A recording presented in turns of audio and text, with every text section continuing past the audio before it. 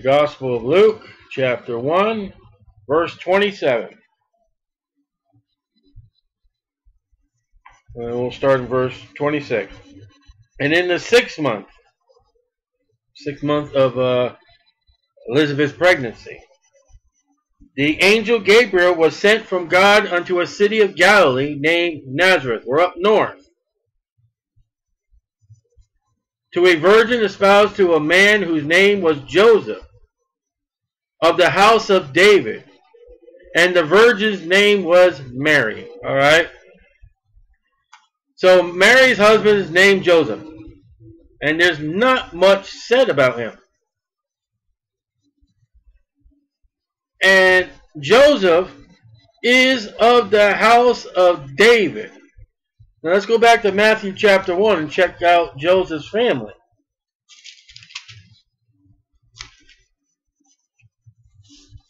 And we're given the genealogy of Jesus Christ to prove who he is. Matthew 1 1, the book of the generations of Jesus Christ, the son of David. You see, I mean, a son in the Bible can be great, great, great, great grandchild. The son of Abraham, great, great, great, great grandchild. Abraham begat Isaac. Isaac begat Jacob. Jacob begat Judas, Judah, and his brother. Notice Judas in the New Testament is the same name for Judah. Judah, the name betrays Jesus Christ. And Judas begat Phares and, and Zerah of Tamar. Phares begat Esrom. Esrom begat Amram. Amram begat Amminadab. And Amminadab begat Nason. And Nason begat Salmon. Salmon begat Boaz of Rachab. And Boaz begat Obed of Ruth. And Obed begat Jesse. And Jesse begat David the king. Joseph is from a kingly line of Jews. This is where Jesus Christ can claim by adoption, chosen by Joseph for the kingly line. And Jesse begat David the king, and David the king begat Solomon of her that had been the wife of Uriah. Ooh. You got to mention sins where Christ hasn't died. Solomon begat Ro Roboam, and Roboam begat Abia, and Abia begat Asa, and Asa begat Jehoshaphat, Jehoshaphat begat Joram, and Joram begat Ozias. These are the kings of Judah. And Uzziah begat Jotham, and Jotham begat Achaz, and Achaz begat Ezekias. Ezekias begat Manasseh, and Manasseh begat Amon, and Amon begat Josias, and Josias begat Jeconiah and his brethren. About the time they were carried away to Babylon. Alright? Those are the kings carried away to Babylon. Oh. Let's pick up in verse 15. Eliud begat Eleazar. Now notice the names that come back. And Eleazar begat Matthan, and Matthan begat Jacob. And Jacob begat Joseph. Okay, make sure you're not talking about that Jacob in the Old Testament, the husband of Mary, of whom was born Jesus. Not, not Joseph and Benjamin, but uh, Jesus, who is called Christ. That is the line of Joseph, the adopted father of Jesus Christ. Where Jesus can proclaim that he is of the Jewish family by adoption, a legal event. Alright? Joseph's genealogy, he's good natured and he's just. This is Joseph, Matthew 1:19. Matthew chapter 1 verse 19.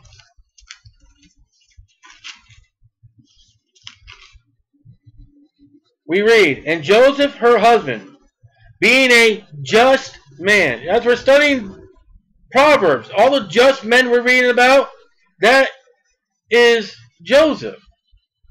Joseph was a, I mean, I don't mean Proverbs is about Joseph. Joseph is the just man, the examples that we see in Proverbs. He's not the unjust. You know, he's a sinner. The Bible says that he was a just man, not willing to make her a public example, was minded to put her away privily. He wasn't going to make Mary a public example. He's obedient to God. Matthew 1:24. Joseph, being raised from sleep, did as the Egypt of the Lord had bidden him, and took her unto him his wife. He obeyed God. 2.14. Chapter 2, verse 14.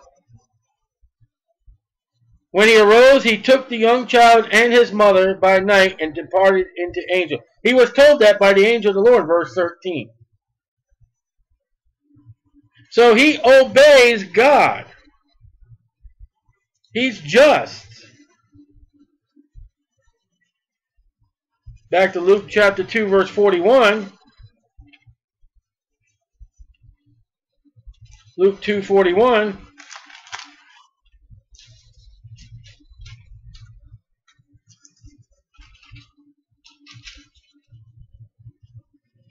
Now his parents went to Jerusalem every year at the feast of the Passover. He obeys the law.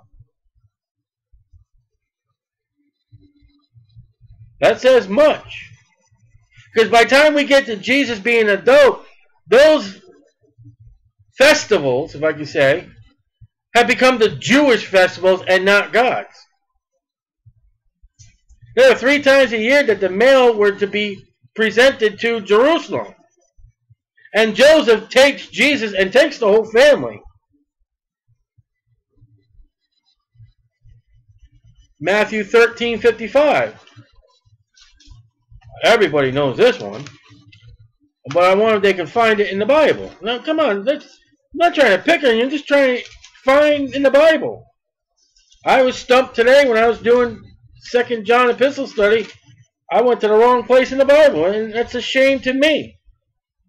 1355, is not this the carpenter's son? So Joseph was a carpenter.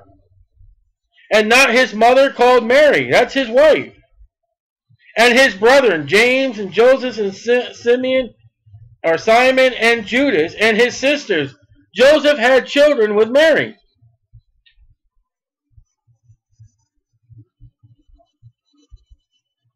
The Bible says that she was a virgin. There was no sexual activity. Isaiah 7:14.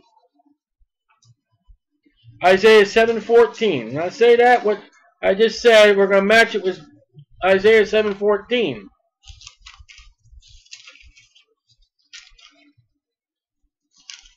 In Isaiah chapter 7 verse 14, Therefore the Lord himself shall give you a sign. Behold, a virgin shall conceive and bear a son, and call his name Emmanuel. A virgin shall conceive. No sexual activity. Joseph is not the father by physical intercourse.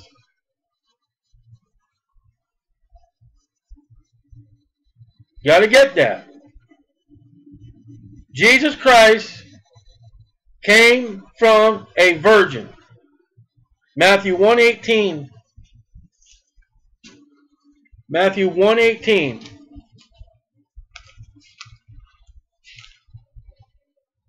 You have to believe this to be saved, you know. Now the birth of Jesus Christ was on this wise. This is the wisdom of Christ's birth. When as his mother Mary was espoused to Joseph, before they came together. She was found with child of the Holy Ghost. She has been impregnated without a man. Verse 25, same chapter, verse 125. And knew her not till she had brought forth her firstborn son, and he called his name Jesus.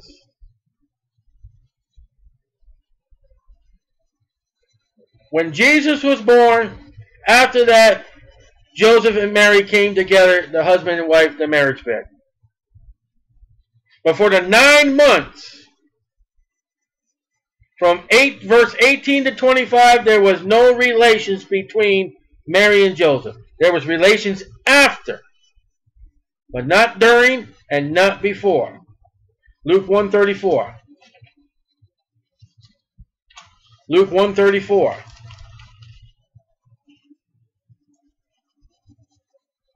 Then said Mary unto the angel, How shall this be, seeing I know not a man?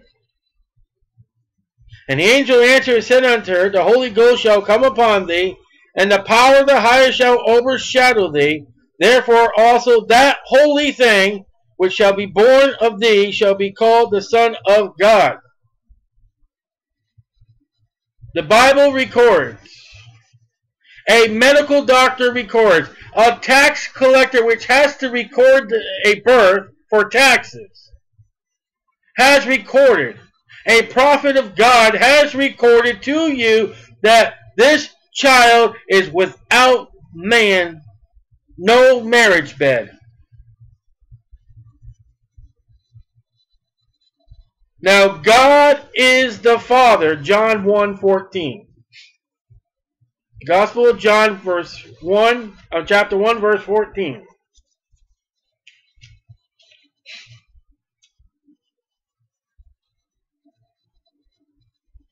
John chapter 1, verse 14. The Word, capital W, go back to 1 1, look at that, was made flesh. Incarnation of God the Son became flesh and dwelt among us.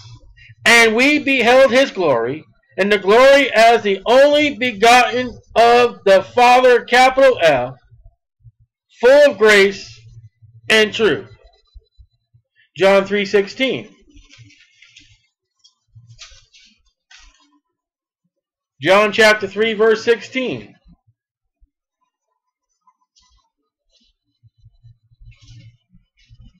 For God so loved the world that he gave his only begotten Son. 1 John 4 9.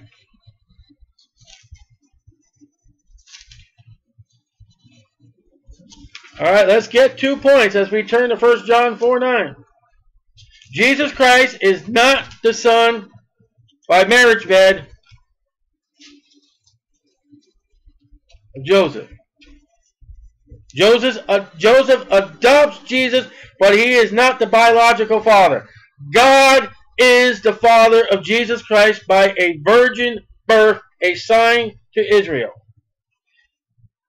In chapter 4, verse number 9. In this was manifested the love of God towards us, because that God sent his only begotten Son into the world. Verse 14, we have seen and do testify that the Father, capital F, sent the Son, capital S. Verse 15, whosoever shall confess that Jesus is the Son of God, you have to believe this. You have to believe in the virgin birth of Jesus Christ. If you don't, you're not saved. Somebody comes to you and says, Well, I'm saved. Do you believe that Jesus was virgin born? Well, no, I don't. Well, you're not saved. You want to ask somebody, if you're dealing with somebody, if you want to know if they're saved, ask them if Jesus Christ virgin born. He had no human father. Ask him if Jesus is God. Especially if he's been messing with the Jehovah Witnesses. And you can go into the study that we're doing in the epistle of Second John. It is vital. Now the Jews were wrong. You say, what do you mean? John 6, 42. John chapter 6, 42. The Jews were wrong. John 6, 42.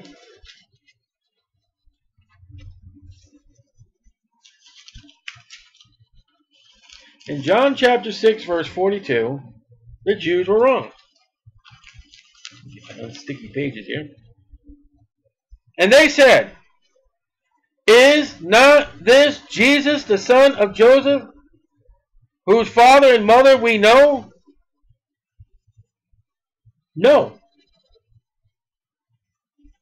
Now they're talking about Joseph as the biological father of Jesus. They ain't talking or thinking about the virgin birth or the adoption. They're wrong. He is and has been proclaiming and will proclaim that he is the Son of God. John chapter 1 verse 45. John chapter 1 verse 45. So if you were to talk to a Jew today, you can't believe the testimony that he'll tell you about Jesus. In John chapter 1 verse 45, Philip findeth Nathanael and says unto him, We have found him of whom Moses and the law and the prophets write, Jesus of Nazareth, the son of Joseph. Well, not really. He's the son of God. But by now, Jesus really hasn't revealed who he is. He's just starting his ministry. But Joseph is not his father. Luke 4:22. Luke 4:22.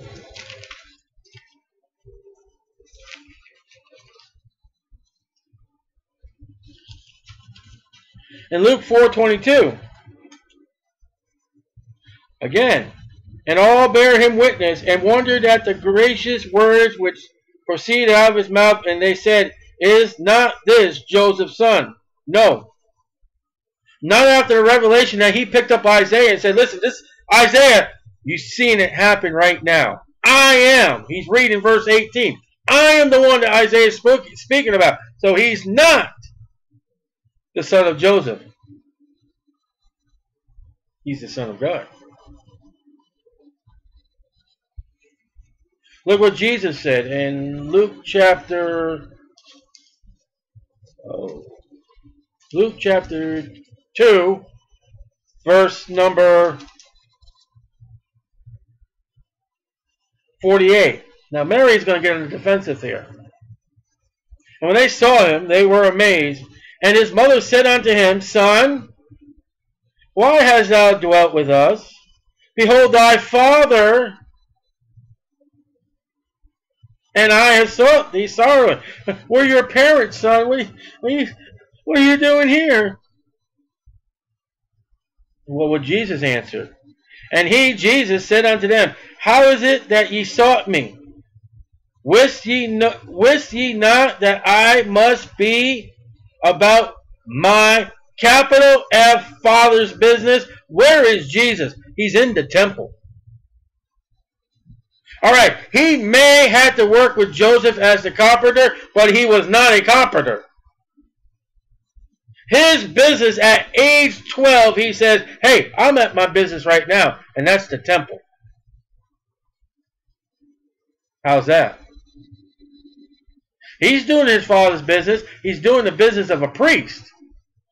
He's checking out the doctors and all them. They're what, what do you guys really know? He's checking out the spiritual tradition and the religious system in his time at 12 years old. And we'll get into chapter 2 later and how he has to obey his parents. Yeah, he did carpenter work, but he's not a carpenter. He's not a carpenter's son. Didn't we just read? He's God's son. So be careful what you say. Be careful of your bumper stickers. Now Joseph adopted Jesus to be his legal son. And we see that Joseph's father, Mary's father-in-law, Jesus' grandfather, Matthew 1.16, was J Jacob. So Jesus would have to call Jacob grandpa. Abraham, Isaac, Jacob. Now that's not the Jacob, but there's that name, Jacob. You remember what that name meant? It meant surplanter. I wonder why he was what his grandpa wasn't called Israel. You know what the spiritual tradition of Israel is going to be when Jesus gets his ministry? They're sick, they're foul, they're they're, they're got evil spirits running around, leprosy. Anytime he walks into a city, there's someone with leprosy. And again, he's espoused without sexual intercourse, Matthew 1.18, Luke 1.27, and Matthew 1.19. We are told. We are given those facts about Joseph. Now, Luke 1.28. We're moving on. We broke out of the gate, and here we go. Very slow. As the Lord will stop us and learn. And the angel came in unto her and said, Hail! Very quick. I don't feel no hail. No, that's a greeting. Thou art highly favored. The Lord is with thee. Blessed art thou among women. You know we're going to stop here. You ever wonder where this was? So it came in unto her. So she's in a room somewhere. She's in a she's in a building. Zacharias, we are told he's in the he's in the holy place. Where's he show up for Mary, I wonder?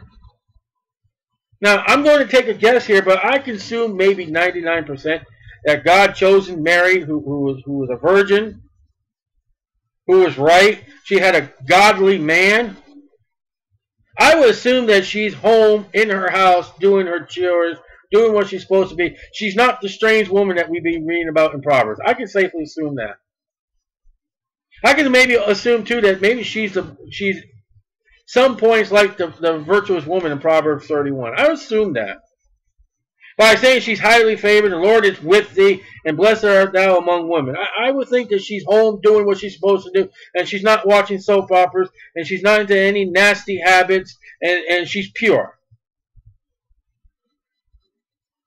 I would assume that.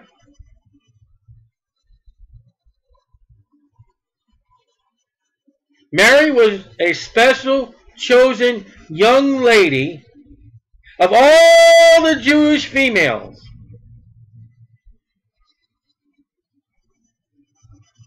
And you wait to see what her genealogy is when we get to that.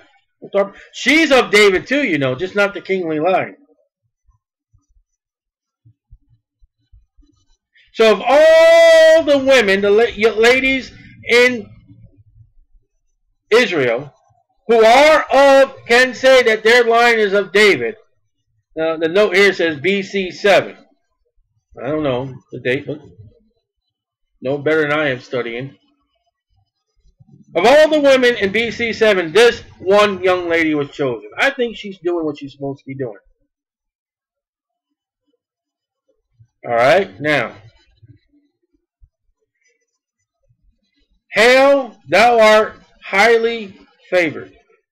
The Lord is with thee. Blessed art thou among women. You know what blessed means? It means happy.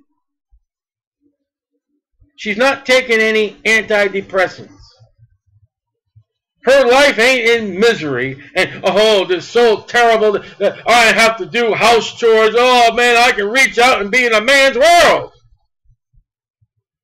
That's not Mary. She's happy. She's she's doing her work and probably singing old Jewish hymns, if not one of the Psalms, and, and just praising the Lord. Because the Lord praises her back.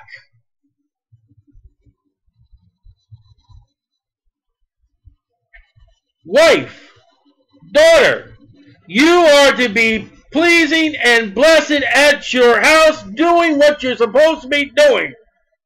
If you are not, you are, read what we have had. God is not likened to you if you're depressed and, and really upset and stuff like that. The angel says you are blessed, you are happy. It's what the Bible says. You need to find out why you're not blessed. You need to get down with God on your knees and say, God, what is it that's separating you and I? What is it that I'm not highly favored among you? What is it that the Lord is, uh, you may be with me, but I'm not happy? Now it says, Art thou among women? It does not say above. Let me spell it. It says A M O N G. It does not say A B O V E. He does not raise her up like some particular church does. It does not put Mary on a pedestal. She is still a normal Jewish young lady. All she is. You wait till she prophesies. You know, she's going to prophesy what's going to happen. The people are going to worship her. But, jump ahead. Now, it says, art, uh, it says, the Lord is with thee. Blessed art thou among women. Now, let's look at Judges 5.24. Judges 5.24. And this is interesting. Because, you know, there's a church out there will say, Thou shalt not kill. You ever read Fox's Book of Martyrs? Judges 5, Judges 5.24. In Judges 5.24, we're going to read about a girl named Jael. In Judges 5.24, you know I love how God is? You know, we Wednesday night I couldn't see. My eyes were bad. And, we're re and my daughter's doing her homeschooling and has just read about Jael. And here we are now talking about Jael. God works everything to his perfection. So, something about Jael that my daughter needs to learn. Because here it is again, verily, verily. In Judges 5.24 we read, and we'll, alright, 5.24. Blessed above women shall Jael, the wife of Heber the Kenite, be. Blessed shall she be above women in the tent. You know where Mary was? She I don't know if it was a tent. She was home, according to that verse. If you match that verse with Luke 142, here are two same women, and Jael was in the tent. Now, Isn't that funny? Why doesn't the Roman Catholic Church raise up Jael where it says she's a blessed above the women, and the church says, "Do not kill, thou shalt not kill." Look at, look at, look at, look at, look at, look at. Verse twenty-five. He asked water, and she gave him milk. Ooh, gave him more. You know, if he smite the other cheek, give him the other cheek. She brought forth butter in a lordly dish. Ooh, baby broke out the china. She put her hand to the nail, and her right hand to the workman's hammer. Oh, oh, okay. With the hammer she smote Sisera. She smote off his head. Well, here's a woman that's above all women, and she's a, she killed somebody in battle, in war. And the church that raises up the wrong women says, Thou shalt not kill. Well, God said to the woman that killed the enemy of, of Israel, She's a blessed above all. The woman that's going to carry Jesus in her womb, well, you are blessed among women. You see, God did not raise Mary. He raised Jael. How about that? Isn't that interesting?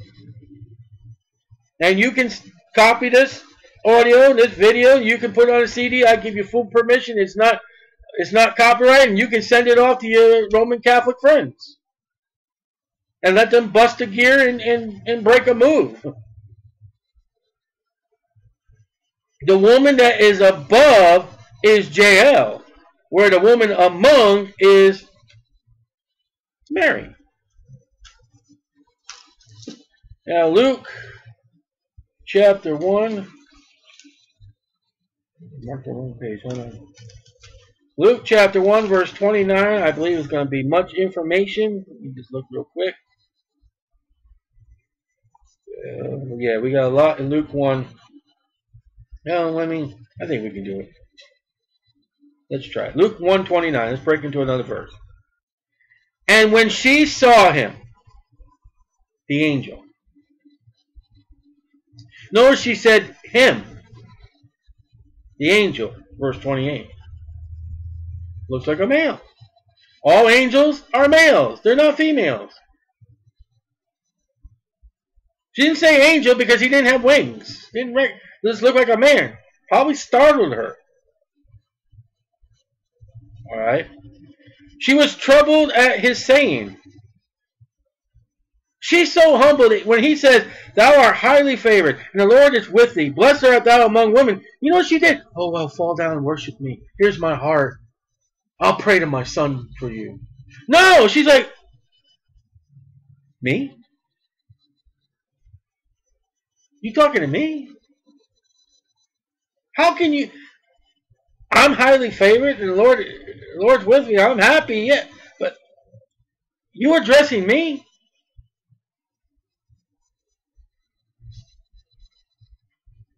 It was trouble in saying and cast in her mind. She's she's thinking, she's pondering. You're going to see Mary's always casting things in her mind. She's thinking about things. You know, she may be doing. She may be. Oh, if the Lord is so with me, she may be thinking about her sins. She may be so humble as why would he look at me? What am I? You know how many young ladies are in this town, Nazareth?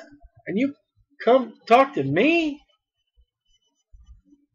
Do you see the difference she has between Zacharias? Do you see why we went over and over about Zacharias? Here this man walks into the holy place. He's like, oh. Here's a guy walks into a house and says, and she's like, really? You sure you got the right woman?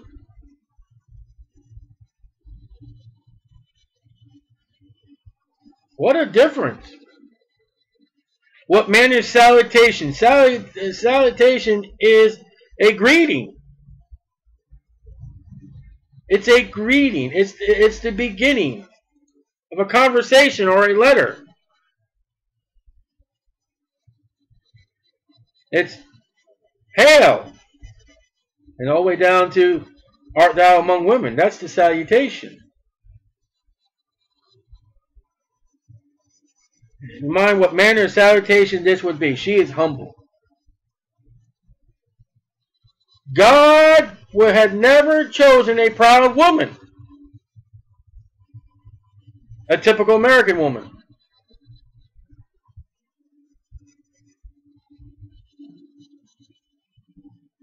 God would never chose a woman where the angels said, Hi there, hi. I know it's me. About time you got here. You never. Well, just let me go tell everybody. God has chosen me. No. Wouldn't choose him. You know, stick their nose up in It's me, not you. You would never done that. Highly favored. Who, me?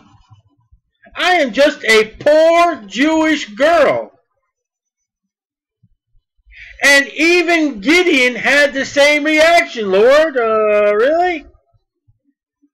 I'm out here trying to get some wheat behind this place because the enemy, I mean, they're just all around us. I'm this great man and I'm a wimp. Wow. The Lord. That's God Jehovah is speaking to Mary. With me is why me? Who am I? And it's the same reaction that David had. Well, who am I, Lord, that you're going to bless my family? Lord, I wanted to build you a house, and you turn around and say you're going to bless my house? You. Somewhere along the line, the communications got mixed up, Lord. It's supposed to be you. And you take this greeting, and, and we're going to leave off with this. This is a great thing to leave off. This greeting, and there's yet better news coming. We'll leave off with this salutation, but you wait to see what else is going to be said. And you watch her reaction compared to what Zachariah's reaction. You know what happened to Zacharias happened to the foundation of Israel? What's going to happen to Mary has never, ever happened and never will ever happen again. You watch the reactions.